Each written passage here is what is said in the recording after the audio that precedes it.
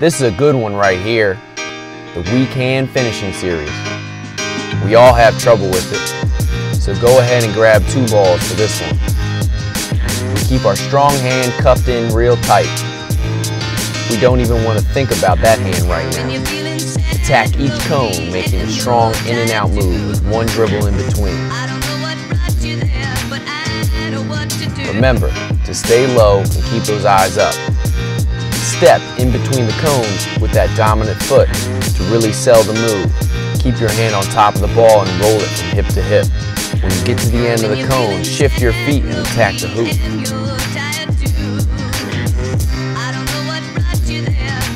Be creative, evolve your game. There is no one way to do this.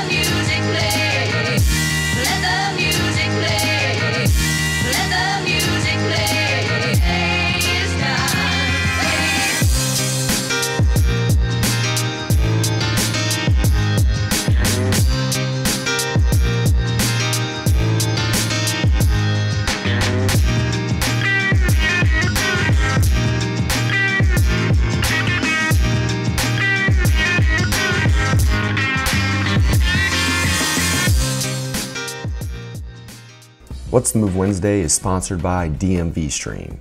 Check them out at dmvstream.com